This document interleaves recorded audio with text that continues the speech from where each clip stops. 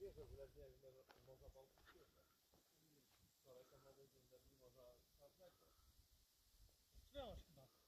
Wam? Wziąłeś chyba. no?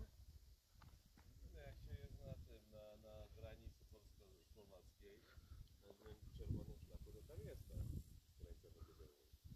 No tam też. Ale jeszcze chyba z Ćwiąś jest pana. A, no to tam, to dalej na tam.